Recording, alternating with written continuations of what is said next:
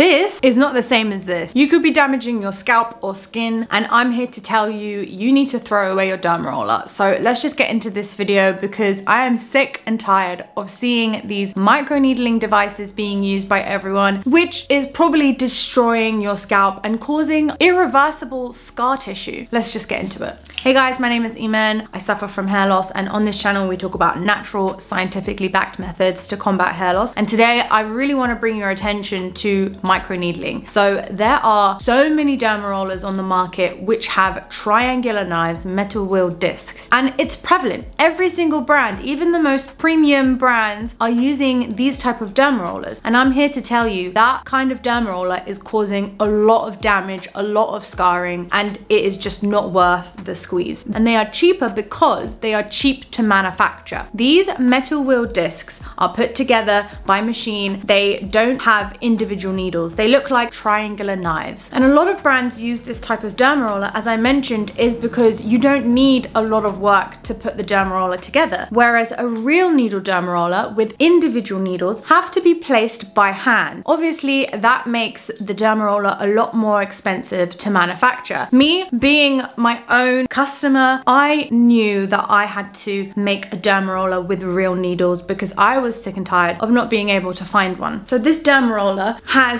individual needles and I'm gonna give a quick test. We're gonna do the fake needle derma roller versus the real needle derma roller and we're gonna check on a banana. So as I mentioned, the fake needle derma roller is made out of titanium wheeled discs and those triangular knives, they create quite big incisions. And the whole point of microneedling is you wanna create trauma to the scalp and micro injuries, which gets the blood flow going, oxygen, IGF-1, hair growth factors. But if you are using a fake needle derma roller with those knives, you're creating a larger incision, which has more likelihood of causing uh, irreversible scar tissue and damage to the scalp, to the skin. That's why the precision real needle derma roller goes in one precise point and doesn't leave that tram track scarring. It's called micro needling, it's not called micro slicing. There is a difference and it could be causing you lots of damage. I've linked my derma roller to the video and you can tell it's real needles because you can see the full needle drum. Typically the fake needle derma rollers, you can't actually see the needles. When you look quite closely, they do look like triangular knives rather than needles. And here you can see that this is quite different. So you can see the actual needles in the drum and they look like individual needles. What's worse about these kind of type of needles is they're typically made by titanium and titanium is a stronger material than steel. Why? You know, it's counterintuitive. You think if it's stronger then it's like more effective, but actually if you have titanium, it's harder to make sharp because it's a stronger material. In surgeries, surgeons use medical grade stainless steel and there is a reason because it's safer, it's more effective, you can create very sharp tools to give you precision. It's so important to make sure that the derma roller does not have blunt needles. To do that is to make sure you keep it in its case. This comes with a beautiful matte case. It keeps your derma roller safe. It keeps it away from being blunt, but you do need to replace the derma roller. Now, a microneedling session in the salon can cost anywhere between 300 to $900 per session. And to see results from microneedling, you need to use a one millimeter derma roller once a week. One millimeter is the optimum depth for hair loss and hair growth. Weekly treatments are the best amount of time to actually see results. And I've done a whole video on this talking about the right needle depth. Check it out if you wanna see the studies and the clinical research to back that data up. If you are thinking of microneedling for hair growth and hair loss, I will say 100% yes. I wish I started earlier. It has been one of the key things that has helped me regrow thicker, fuller hair. With consistent use, you will definitely see results within six to eight weeks. Now, a lot of my customers have seen amazing results. I've seen so many women and men uh, who have started microneedling and already can see baby hairs. It's, it's truly transformational and you can start to see the results straight away. Now, before you go, I'm gonna give you my top tips on how to microneedle effectively. You get the most out of your microneedling sessions. Tip number one is always disinfect your derma roller before and after use. I use 70% isopropyl alcohol and this case is perfect because I can pour it into the case, which will then disinfect the needles for me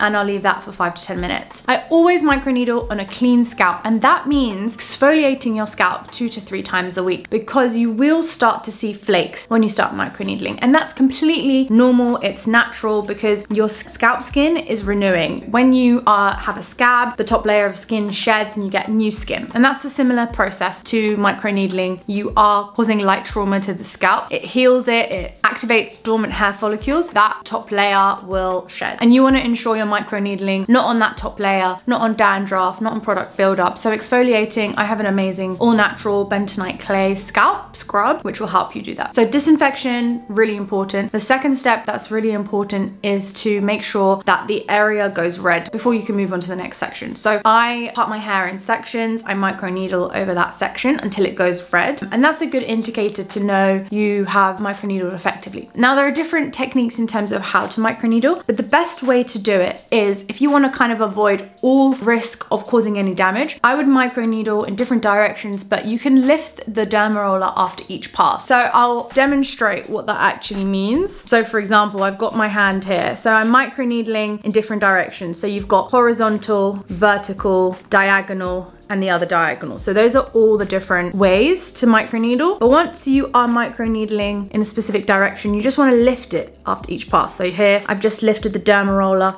instead of going back and forth. I personally go back and forth, but if you wanted to avoid the risk of any sort of damage, then you can just lift the derma roller after each pass like that. But make sure you go in all directions. And that ensures you're getting that precise point, but you're not increasing the trauma of that. But you do want to make sure you're going in all directions because you want to create lots of micro injuries across the whole area. So that's why I really recommend doing each of those directions and just lifting after each pass. My third third and final tip is to really maximize the hair growth to increase chances of growing thicker hairs to use a topical treatment. I am a natural girly, I don't like chemicals, so the best things are oils or scalp mist. My Radiance hair oil has 17 potent natural organic cold pressed oils including rosemary, sage, peppermint, avocado oil, black seed oil. Using that as a spot treatment and applying it after microneedling is great. You can also use my Essence Scalp Mist which has turmeric stem cells, it has has niacinamide, red clover. It is jam-packed with really potent ingredients. You don't have to use a topical treatment. It does help to maximize results. And actually microneedling alone will yield results more than if you just use minoxidil alone. So there are a lot of clinical studies to support that. But if there is one thing to add to your hair growth regimen, to your hair loss routine, it is microneedling. So if you were thinking about it, this is your sign to start microneedling, but with the right tool, the right derma roller. If you guys had any questions, let me know in the comments and I'll see you guys in the next video. Bye!